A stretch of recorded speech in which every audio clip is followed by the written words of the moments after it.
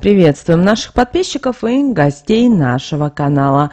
Друзья, мы вас всех приветствуем в изобилии и достатке. Сегодня в этом видео мы уделим внимание народным приметам, традициям и обрядам на 29 июля. Поговорим о том, что можно делать и чего категорически нельзя делать. Также поговорим об иконе Божьей Матери, которая почитается в этот день и дадим определенные советы. Поэтому обязательно просмотрите это видео от начала до конца. Прямо сейчас ставьте лайк, поддержите Держите нас, подписывайтесь на наш канал.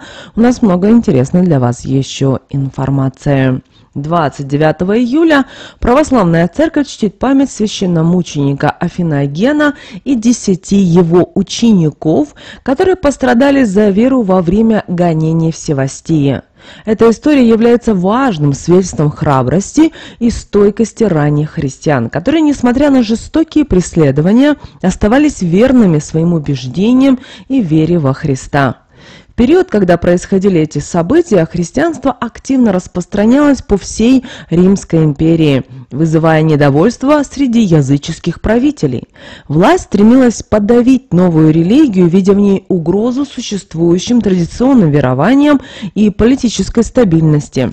В Севастии, городе, где жили Афиноген и его ученики, правитель устроил большой праздник в честь языческих богов и приказал всем жителям принести жертвы идолам. Большинство севастийцев, будучи христианами, отказались участвовать в этом событии, что вызвало гнев властей. Афиноген, епископ Севастии, был известен своими проповедями и духовным руководством. Он жил вместе с десятью учениками в небольшом монастыре, монастыре недалеко от города. Когда правитель узнал, что Афиноген активно распространяет христианство, он приказал найти его и арестовать. Момент прихода воина в монастырь епископа не было на месте, и они схватили его учеников, заковали их в цепи и отправили в тюрьму. Узнав о случившемся, Афиноген добровольно пришел в Севастию и укорял судью за несправедливость, утверждая, что его ученики невиновны. За это старец был арестован и также помещен в тюрьму. На суде он и его ученики открыто исповедовали себя христианами и отказались приносить жертвы идолам. Их стойкость и вера вызвали ярость правителя, который приказал подвергнуть их жестоким истязаниям. После пыток учеников обезглавили, но их стойкость не поколебалась. Афиноген, несмотря на жестокие мучения, продолжал проповедовать любовь к Богу и прощение. Он просил воинов казнить его в монастыре, где он смог бы помолиться перед смертью. Его просьба была исполнена, и в своем последнем обращении к Богу Афиноген молился за прощение грехов тех, кто будет поминать его и его учеников. Перед смертью он услышал голос Всевышнего и добровольно склонил голову под меч, демонстрируя невероятную силу духа и веру. Память священномученика Финогена и его учеников является важным уроком для всех верующих. Их жизнь и мученическая смерть напоминает нам о том, что вера и преданность Богу могут преодолеть любые трудности и страдания. Они служат примером истинного христианского мужества и любви, готовности жертвовать собой ради веры. Православная церковь чтит их память 29 июля, призывая верующих вспоминать этих святых и молиться за их заступничество. Их жизнь и мученичество вдохновляют на духовные подвиги и укрепляют в вере, напоминая о важности следования Христу даже в самых тяжелых обстоятельствах. 29 июля в Православной Церкви отмечается еще один праздник. Это праздник в честь Чирской, э, Псковской иконы Божьей Матери. Эта икона является одним из почитаемых образов Богородицы, к которому православные верующие обращаются за помощью и заступничеством. Чирская икона, или же Псковская, имеет глубокую историческую и духовную значимость, и ее праздник объединяет верующих в молитве и благодарении. Чирская икона Божьей Матери получила свое название от местности Чирский погост в Псковской области, где она была впервые обретена и явила свою чудотворную силу. Точное время и обстоятельства появления иконы в этом регионе неизвестны. Однако в народных преданиях и церковных источниках она упоминается как одна из святынь, которые обращались с молитвами в трудные времена. Икона стала особенно известна после чудесного избавления Пскова от эпидемии чумы, произошедшего по молитвам перед этим образом. С тех пор Чирская икона Божьей Матери почитается как заступница и целительница, и ее праздник является важным событием для православных верующих.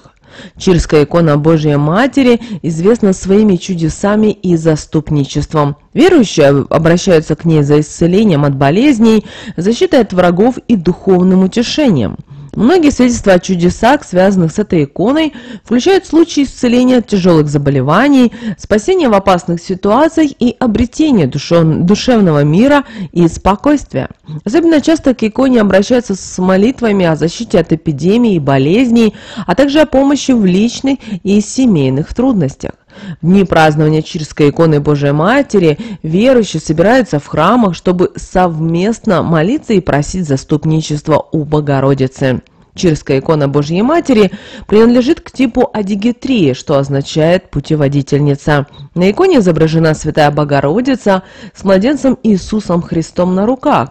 Богоматерь указывает на своего Сына, как на путь, истину и жизнь, указывая верующим на правильный путь в жизни.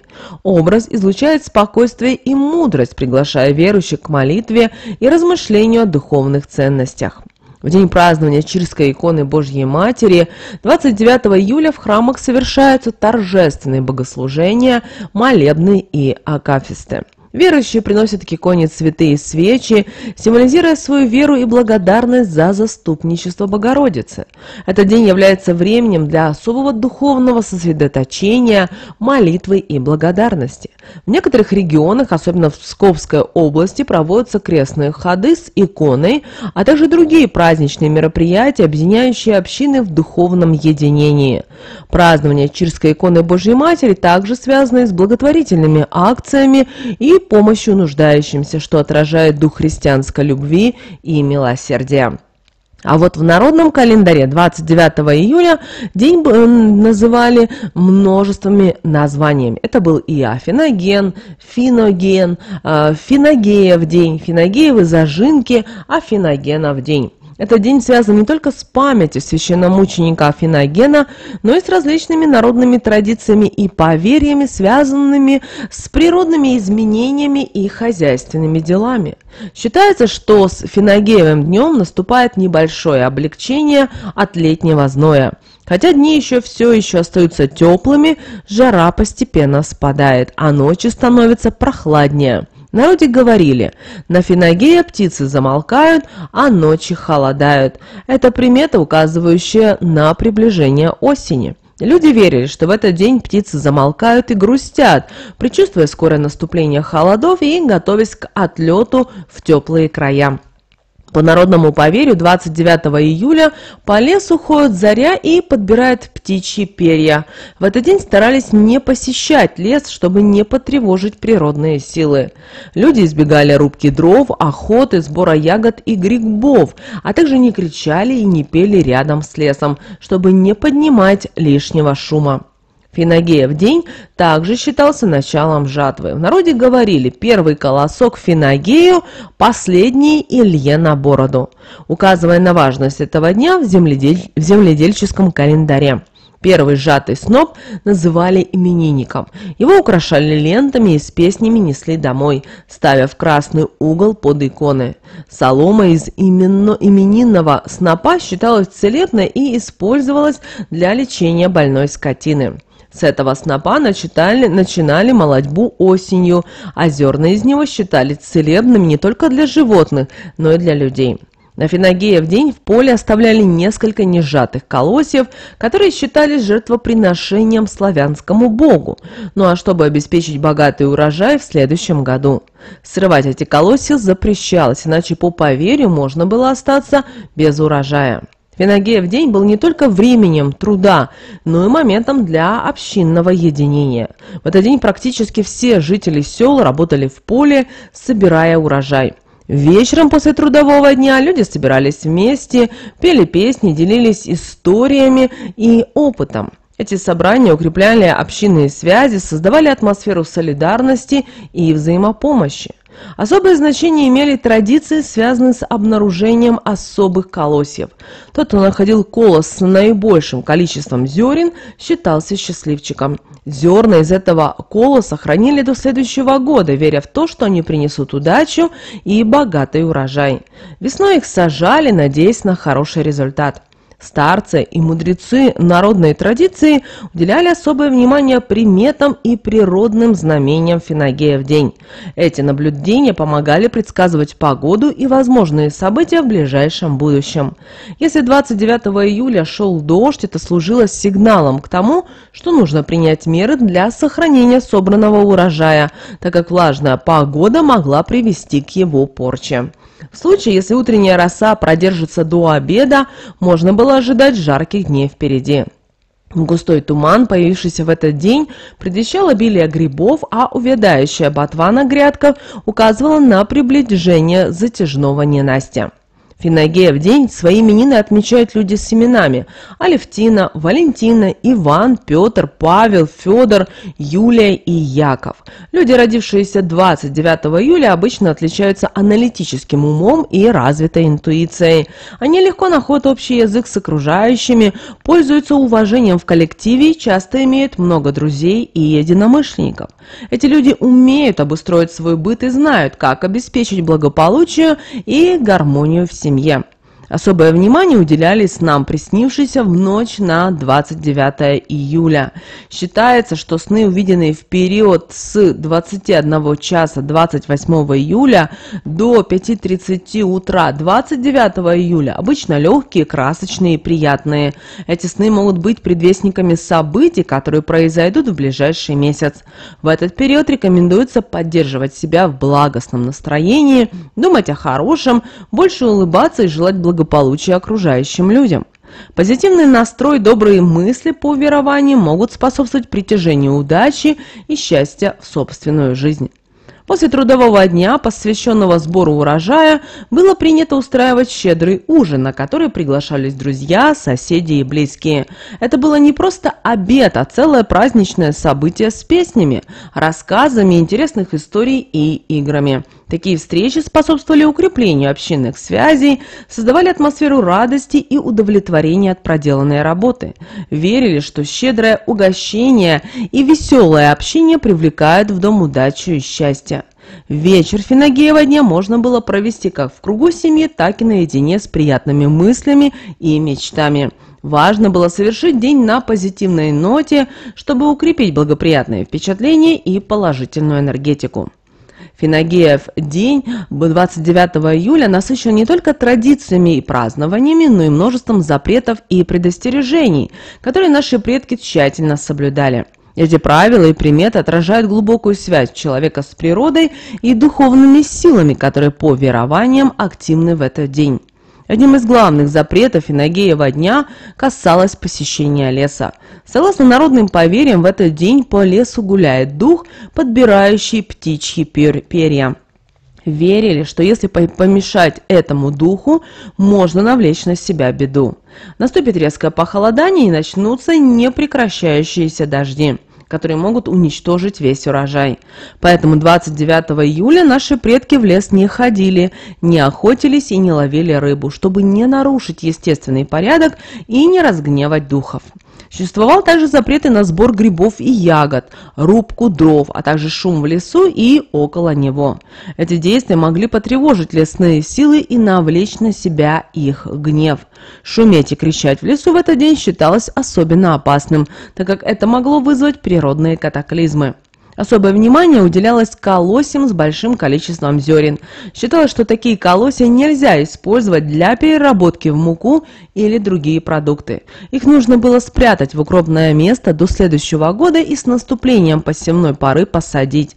Согласно поверью, зерна из такого колоса принесут богатый урожай. Это отражало веру в магические свойства растений и стремление обеспечить будущее плодородие.